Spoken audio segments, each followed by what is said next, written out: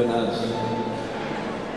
buenas tardes a todos, amigos, amigas, señor presidente de Cajasur, señor presidente del Cabildo Catedral,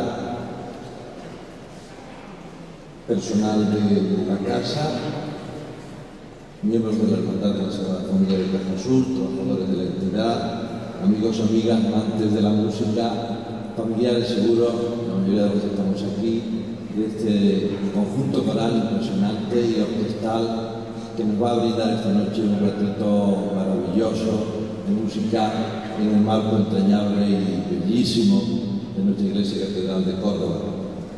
Antes de nada, yo creo que nos expreso el deseo de desearnos una feliz Navidad y bienvenidos al concierto sacro en el que el excelentísimo Cabildo Catedral y Cajasur quieren darnos su más cálida felicitación, contribuyendo así a la alegría íntima de estas fiestas religiosas de la Navidad.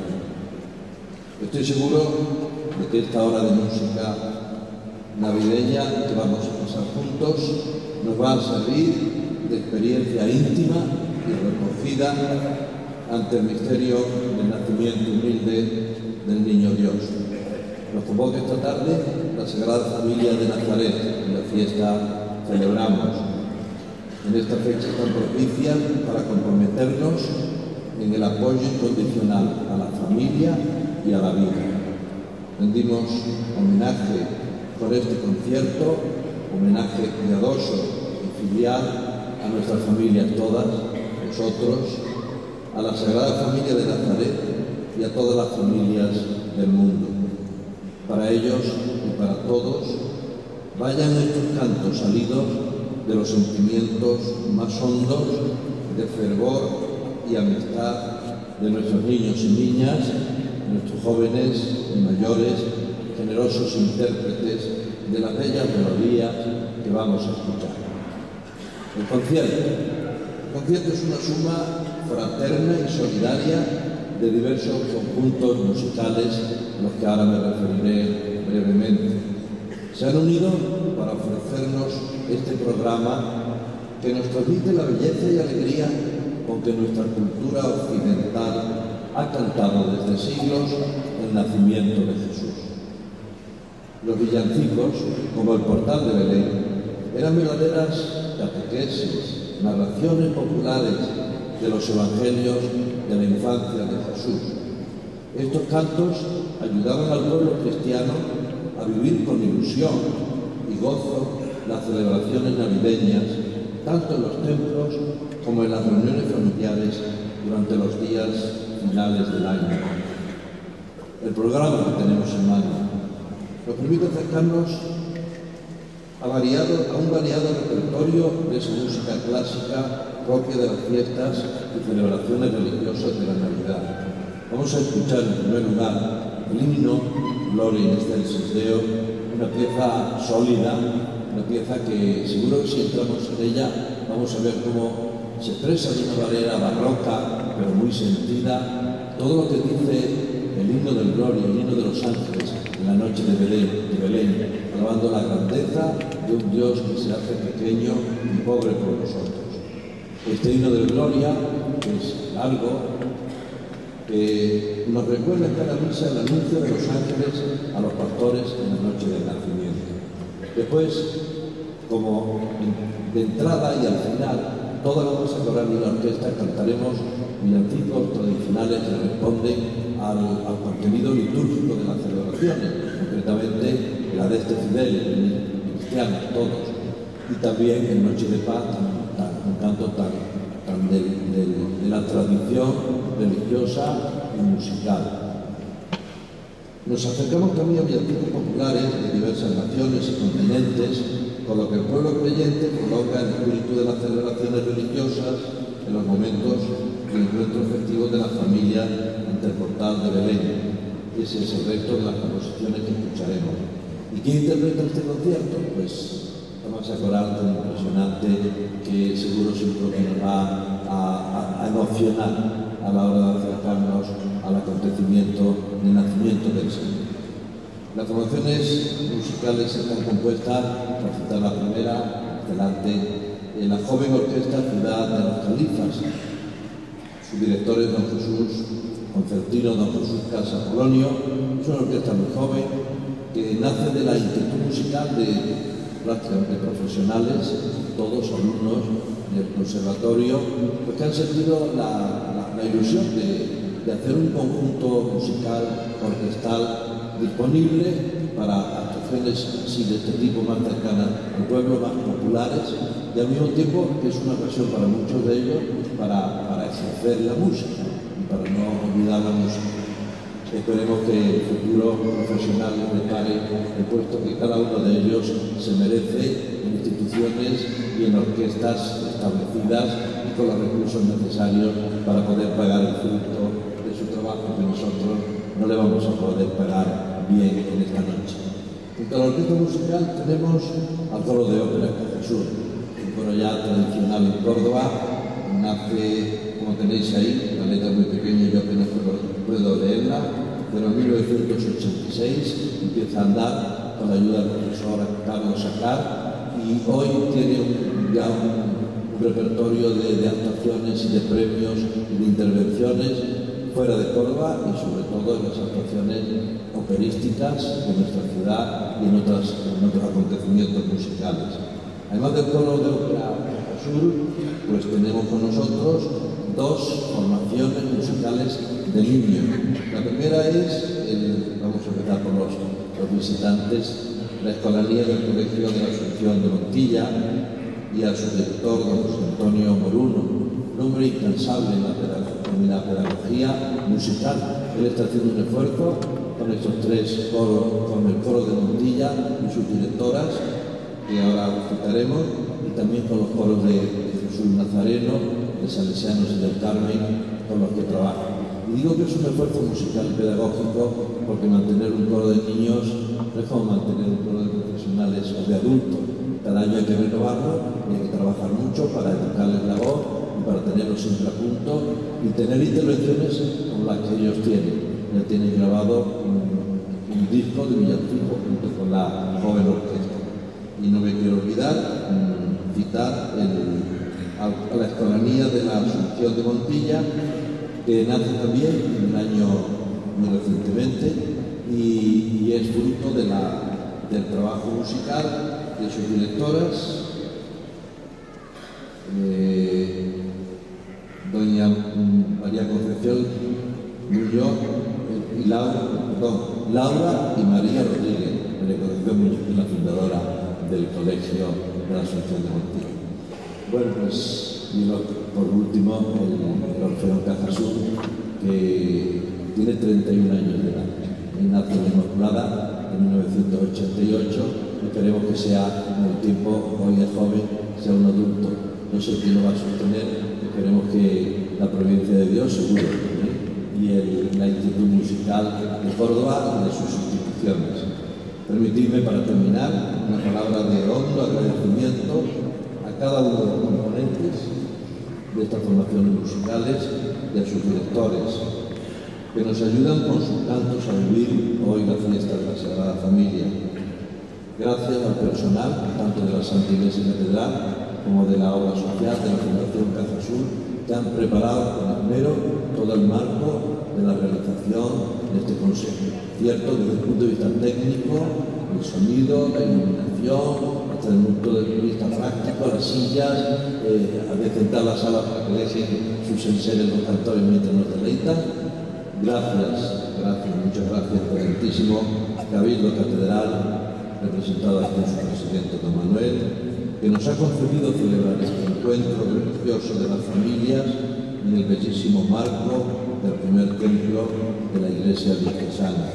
Gracias por fin a Jesús, que como siempre lo ha hecho durante estos 150 años de historia, ha contribuido generosamente con su aportación económica y humana a la realización de este concierto sacro ofrecido a nuestra ciudad de Córdoba, pues que ustedes lo deciden.